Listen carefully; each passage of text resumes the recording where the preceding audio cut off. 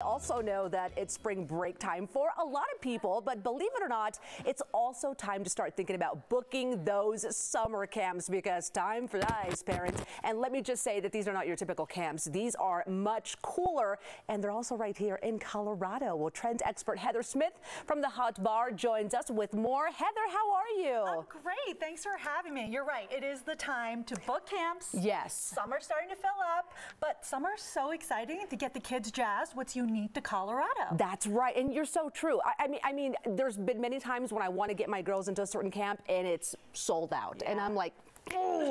Okay, so tell me about the camps that are available. I will. We have the whole rundown. So okay. Woodward Copper is the only on snow camp. Oh. June through August. There's 10 different weeks, so you have options. Uh -huh. Kids can be 7 to 17, and they have this on-mountain terrain summer park, the only one of kind of its kind. So you've got the jibs, the jumps, that the is rails. Awesome. Yep, there's a little lift for them too, and visiting pro skiers and riders come like Zeb Powell or Red Gerard. Mm -hmm. And these copper campers can also exclusively access the Copper Woodward barn. And so okay. see that huge indoor training facility? There's six Olympic flybed trampolines. Those are roller skis. They have roller snowboards. So the kids go down, they practice, they go into the foam pit. I love then this. Then they take those tricks out onto the snow in the summer.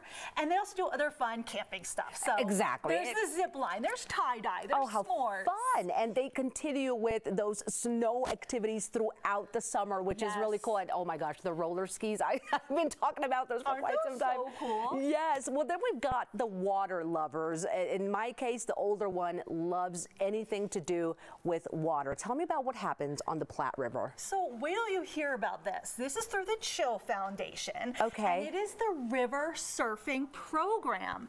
And what's so unique is that the mission of Chill is to inspire youth through board sports to build a more equitable outdoor community. So that means access, training, equipment, and inclusion of board sports in the board sporting community for those mm -hmm. who might not otherwise have access. Okay. So they partner with the Colorado River School and also agencies like the little like the Boys and Girls Club yes. or I Have a Dream or some high schools to really engage kids throughout the summer. They provide all the gear and services necessary at no cost. I think that's wonderful. I, not a lot of kids have the opportunity to wakeboard, to water yeah. ski. I did until I was an adult and I loved it. So what a great thing to do it as well. Is, and it's been going on since 1995. The founders of Burton Snowboards, Jake and Donna Carpenter, uh -huh. founded it and they're really inspiring progression on and off the board and having fun. And was that surfing that it they were doing?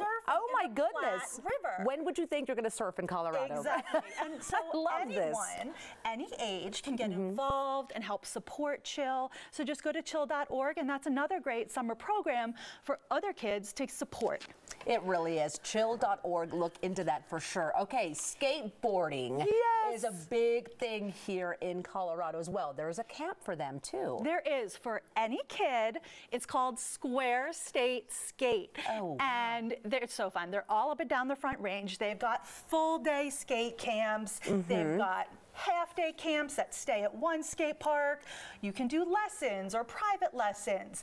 And they either meet at the Boulder or Denver Square House, which is a warehouse that, you know, all the campers come to, or they even meet at skate parks. So you've got them meeting at Arvada or Lyons, Lafayette, Louisville and overnight skate camps. They oh, take kids. that sounds fun. Yeah, it is. They take them to Lewis or they take them out to Gunnison, Salida, Steamboat Springs, mm -hmm. even Frisco. So they're making s'mores too, but they're camping. Yeah. And they're educators. The campers and the counselors really come together for that social and emotional growth. Of course, they're learning the tricks too. Of course. But Square State Skate is really all about the kids. Yes, Square State Skate, is yes. that the one to it look is. into. Okay, kiddos in the Denver area, who can sign up for these camps? What's the best way that parents can jump on and sign up? Definitely check out the different websites. Okay. I'll list them all over at thehautebar.com. Uh-huh. But whether it's, you know, Copper or getting involved with the Chill Foundation or Square State Skate, they're easy to find. They're right here local in the Front Range. and they're really ready for your kids this summer. I love this. And, and parents, it's all about getting in there and getting it done on time. The Haute Bar is a great resource for you as well. Well, all three sound like a ton of fun. Oh my gosh, Heather, thank you so much for bringing this on the show today. Okay, here is some info on how to jump on some of these camps. All you need to do is go to the website. It's thehautebar.com and you can find all the info on some of those camps there.